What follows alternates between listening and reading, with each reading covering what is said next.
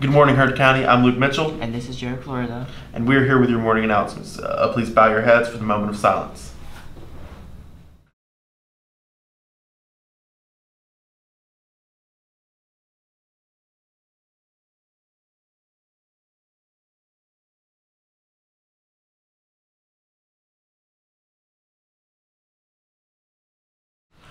And now, please stand for the Pledge of Allegiance.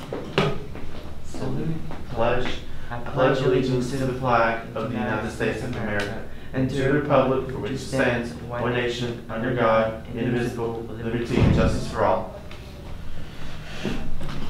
Well, Jared, would you like to lead us off on our breakfast menu? Yeah. So for breakfast today, we have we have steak biscuit, glazed donut, and cinnamon toast crunch. Well, that sounds something. And now for lunch, we've got uh, pepperoni calzone and the high school exclusive, the the unequivocally best food in the game, the chicken noodle soup. High school kids, if you're watching this, you are. Get it, enjoy it, love it. You better, cause it's probably the only time you're gonna eat it. Ever in your life. Yeah. Now, these are the rest of your morning announcements, and have a good day.